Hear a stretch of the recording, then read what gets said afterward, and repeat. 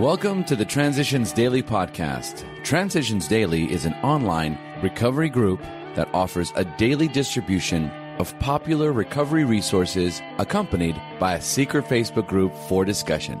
We hope you enjoy today's readings. This is Transitions Daily for October 30th, read by Cindy L. from Fort Worth, Texas. AA Thoughts for the Day Principles Experience shows that few alcoholics will long stay away from a group just because they don't like the way it is run. Most return and adjust themselves to whatever conditions they must. Some go to a different group or form a new one. In other words, once an alcoholic fully realizes that he cannot get well alone, he will somehow find a way to get well and stay in the company of others. Bill W., letter 1943, as Bill sees it, page 312. Thought to consider. It isn't difficult to make a mountain out of a molehill. Just add a little dirt. Acronyms. ISM. I, self, me. Just for today. Grim routine. From chapter 7, make it snappy. During this 17 year period, 1918 to 1935, Dr. Bob had worked out a grim routine that permitted him to drink and somehow still maintain his medical practice. Careful never to go near the hospital while he was drinking, he would stay sober until four o'clock in the afternoon. It was really a horrible nightmare, this earning money, getting liquor, smuggling it home, getting drunk, morning jitters, taking large doses of sedatives to make it possible for me to earn more money, and so on ad nauseum, he wrote. I used to promise my wife, my friends, and my children that I would drink no more. Promises which seldom kept me sober through the day, though I was very sincere when I made them. Pass it on, page 140. Daily Reflections. Live and let live. Never since it began has Alcoholics Anonymous been divided by a major controversial issue. Nor has our fellowship ever publicly taken sides on any question in an embattled world. This, however, has been no earned virtue. It could almost be said that we were born with it. So long as we don't argue these matters privately, it's a cinch we never shall publicly. 12 Steps and 12 Traditions, page 176. Do I remember that I have a right to my opinion, but that others don't have to share it? That's the spirit of live and let live.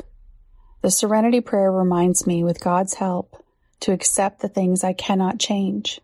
Am I still trying to change others? When it comes to courage to change the things I can, do I remember that my opinions are mine and yours are yours? Am I still afraid to be me?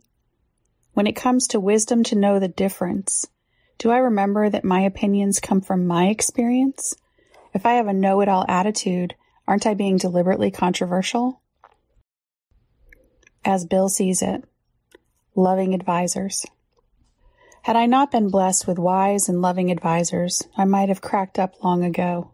A doctor once saved me from death by alcoholism because he obliged me to face up to the deadliness of that malady. Another doctor, a psychiatrist, later on helped me save my sanity because he led me to ferret out some of my deep lying defects. From a clergyman, I acquired the truthful principles by which we AAs now try to live. But these precious friends did far more than supply me with their professional skills. I learned that I could go to them with any problem whatever. Their wisdom and their integrity were mine for the asking. Many of my dearest AA friends have stood with me in exactly this same relation. Often they could help where others could not, simply because they were AAs. Grapevine, August 1961. Big Book quote the fact is that for most alcoholics, for reasons yet obscure, have lost the power of choice in drink. Our so-called willpower becomes practically non-existent. We are unable at certain times to bring into our consciousness with sufficient force the memory of the suffering and humiliation of even a week or a month ago. We are without defense against the first drink. Alcoholics Anonymous, there is a solution, page 24. 24 hours a day. AA thought for the day. I have real friends where I had none before.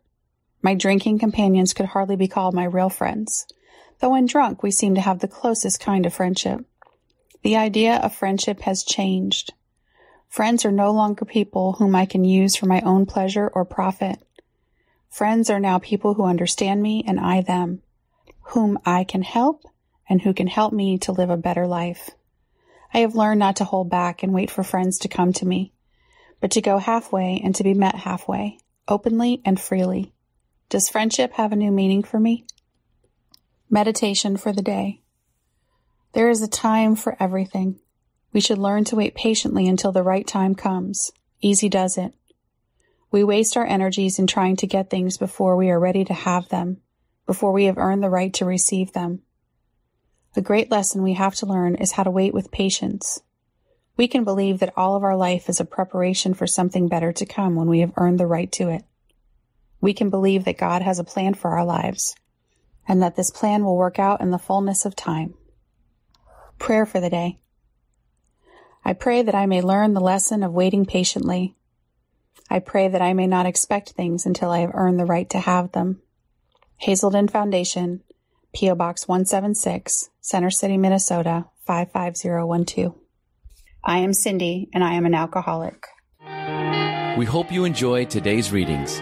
You can also receive Transitions Daily via email and discuss today's readings in our secret Facebook group.